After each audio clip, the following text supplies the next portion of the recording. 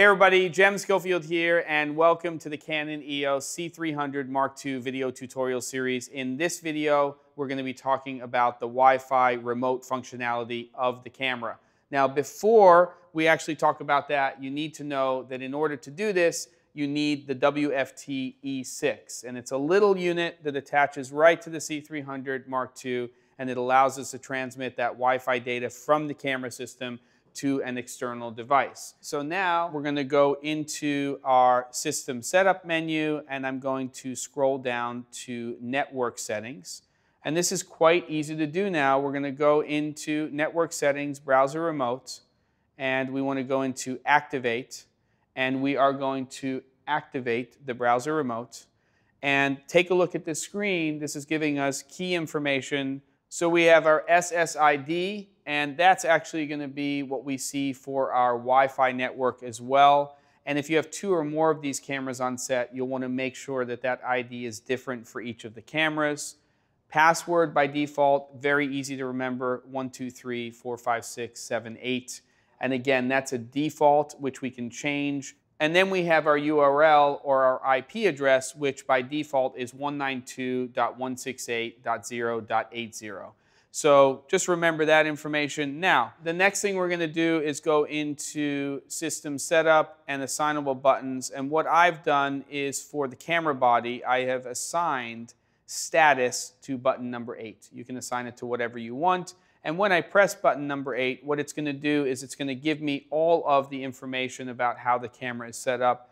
I want to go to the last page. So yes, there's a lot of other information here, but in this case, on the last page is the information I'm looking for.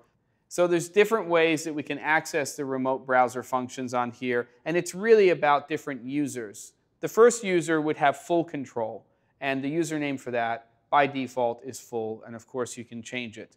The second user would just have camera control, and that username is camera. And then if you just want somebody to enter metadata using the browser remote, then they also have their own username, which by default is meta.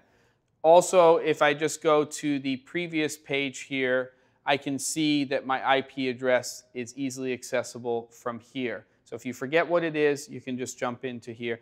And so that's why it's so important to assign status to one of the buttons on the camera. So now that I have all of that key information, it's time to connect to the camera system using the browser remote with a laptop a smartphone, or a tablet. First thing we need to do is connect to that ad hoc Wi-Fi network. So we're going to go into Wi-Fi and turn that on and press that. And then I have to put in that password. And that password, if you remember, is by default 1234567 and say join. And we're just going to let it connect to that network. Next thing, step out of that, launch a web browser I'm going to go into a web browser and we're going to type in that IP address. And that is 192.168.0.80.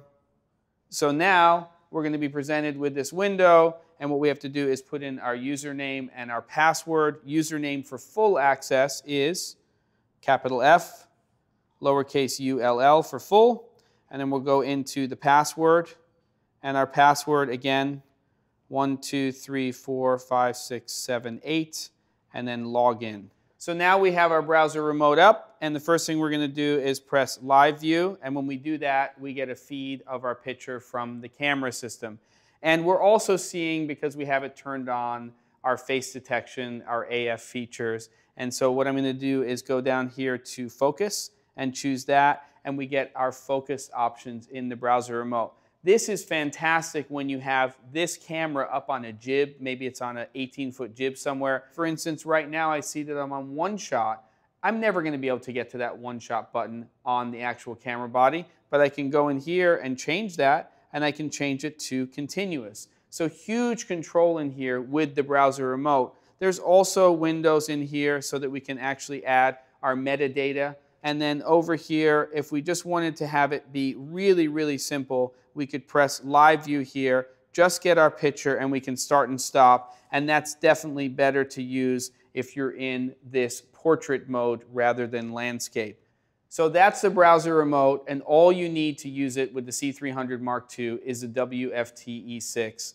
Lots of uses on set when that camera is out of the way, when you want somebody like a client to take a look at something, or you just need somebody to take something like a smartphone and start and stop the camera. Awesome stuff. That is the browser remote feature with the C300 Mark II.